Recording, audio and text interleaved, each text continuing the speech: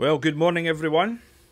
Today we are at a Jeep, and it's a Jeep Cherokee 2004, and it's got this. There we go. They call it the PowerTech Direct Injection CRD. So I think this is a 1.8 direct uh, diesel injection. So there's a fuel filter up there. Never mind. Don't know why I'm showing you that. but uh, there we go. Cherokee. So customer's complaint, and it has been confirmed already, so that's good enough for me, that you're driving along the road and it just cuts out, cuts out and stalls. So I think the customers, they do a bit DIY themselves, and they had tried to scan it for codes, but nothing came up on their scan tool. So we've got a few codes. You can see we've got four in the powertrain control module, VTS, Vehicle Theft Security, we've got one fault, and ABS, we've got three.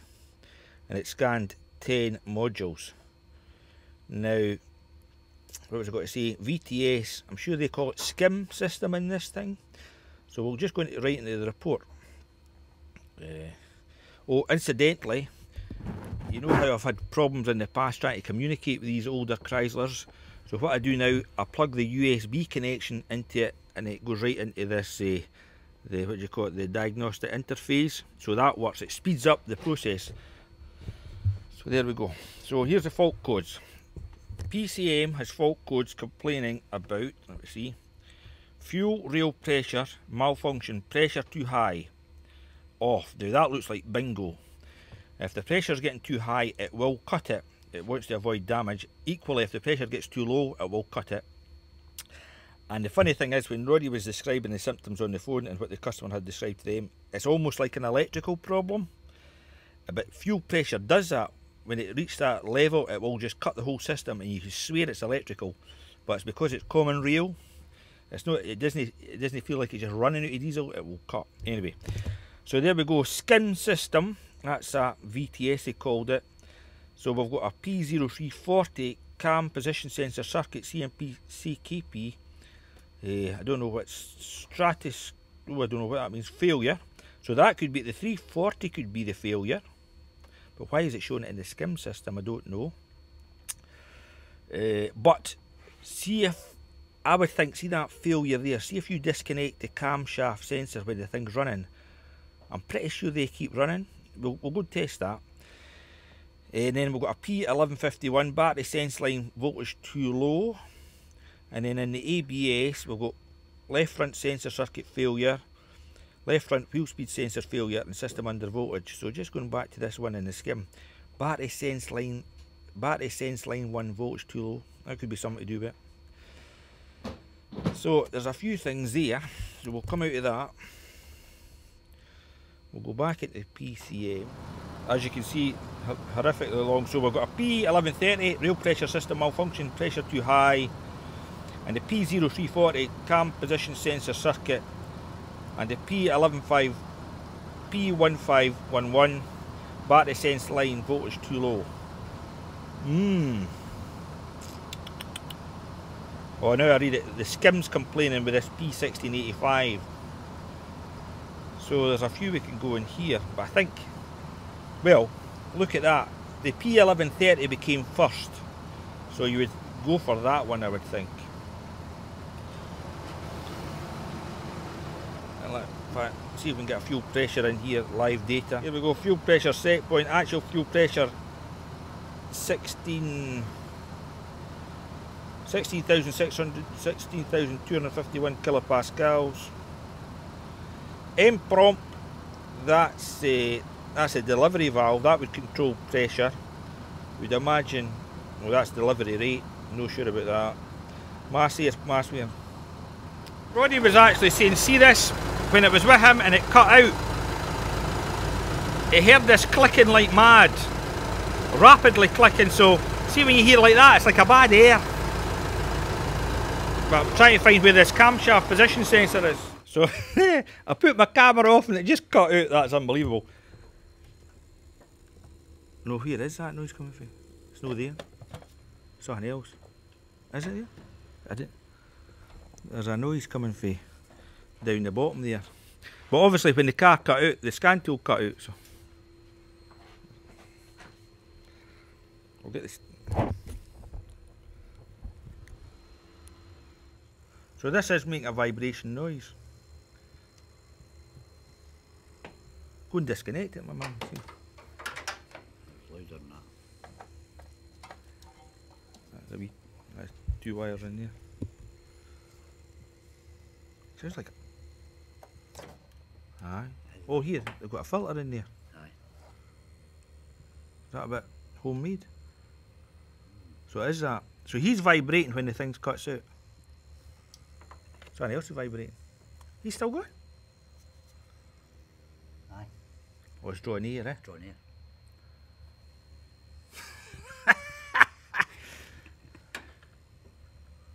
That's when he went like that. That must have vac. Go and pull the vacuum tubes off, Roddy. That's it. So it's drawing the vacuum up there. Hmm. Interesting. That's what you see when you don't know what's going on. You just see interesting. right, we'll clear the codes and take that one. So there's the codes. With us disconnecting that purge valve, got actually shown it as a P0403 EGR solenoid circuit open circuit. Maybe it is. No, would it? Oh, it could be. That, ah, that could control the EGR. I maybe I'm maybe over analysing things here. So anyway, we're going to clear the codes. Erase codes. Yes. Yes. Okay. Read codes.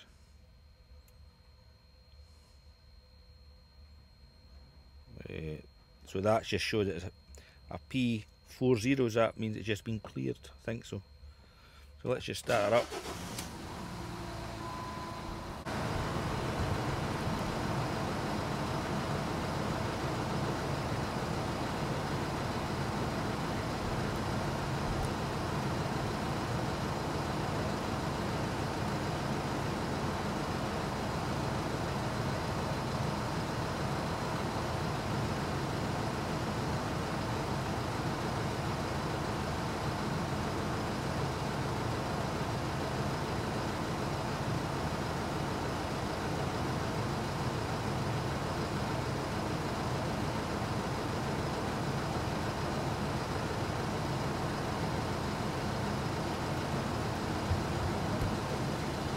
So let's set it back to 40,000.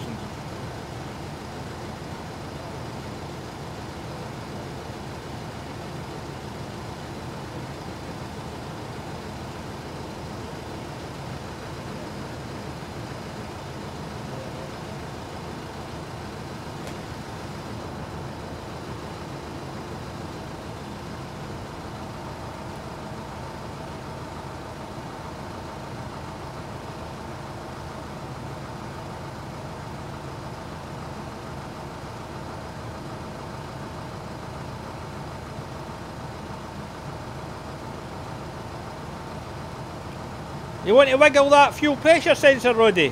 Huh? Want to wiggle that fuel pressure sensor?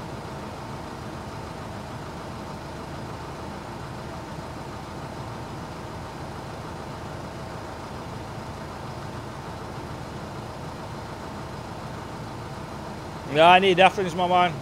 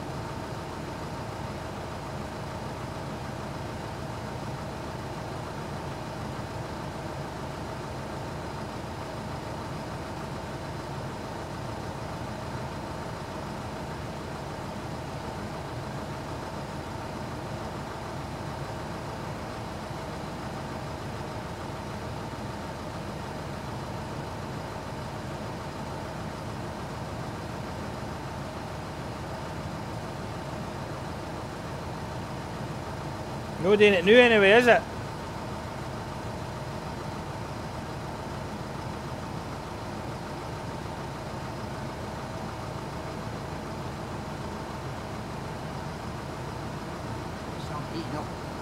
Aye.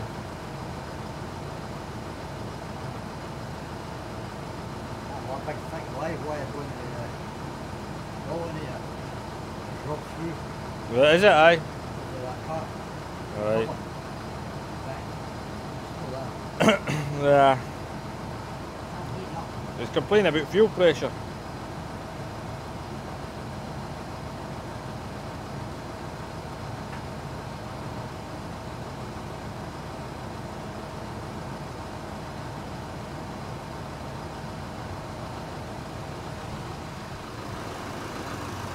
So it's been sitting here idling for 10 minutes and it's never cut out yet, which is always a worry because ah, it's cut out before. So anyway, I went into the back of the, the fuel pressure sensor. It's the middle pin, and that's the signal wire. And you can see there, we are reading 1.14 volts. So I've just got this in the graphing multimeter, so we should catch it if it goes high. And you can see that we're connected to the battery negative. Bernie Thompson says we should always connect the battery negative. So if it's good enough for him, it's certainly good enough for Sandy Boy. So anyway, we'll keep what if anything happens, I'll switch the camera back on. So a couple of things to note. We were sitting here at idle, and the pressure started to rise. It, it always stays at 1.1314, but I'll show you the trace. It went up to 1.3 just sitting idle, and then the thing cut out. It's restarted immediately. But here's a funny thing: the only code that's came back is a P0340. Now, when it cut out originally, that code was not generated, but it's when we were driving back down the road, it gave a little stumble and it generated this code cam position sensor circuit, whatever that word is here. Uh, code 10. So there's a fuel pressure at rest. There'll be no pressure in the rail, so we're at 0.514. So Roddy will go and start it. You'll see this shoot up. I think it's got to get to 0.8 before it will start. There you go. So we're idling, we're back to idling at 1.14. We've seen it was at 1.12, so let's take it a run, see what codes are generated again. But we're maybe going to change direction, look at the camshaft sensor. So we're currently broke down in the middle of a field. No, in the middle of a field. nice view actually. So the code that keeps coming back is the P0340 camshaft position sensor. So we're monitor data sync signal initialized. Uh, we're also looking at our fuel pressure. So Roddy's going to try and start it. So we'll see. If, so we've got enough pressure, and we're getting sync signal still initialized. Engine RPM zero. You got nothing on the dash either, Roddy? No, no, no. Crank it here, my man. So, I believe at this point their camshaft sensor has failed. How we got to get home? A bus. A bus. Uh, there's no many buses on this route. Like, maybe towers. Aye, so there we go. Engine RPM zero. So we're going after. It's amazing how you have to change direction very quickly. Eh, so it's camshaft position sensor. Right, we'll just need to wait till it comes back. In fact, we're going to try and find it first.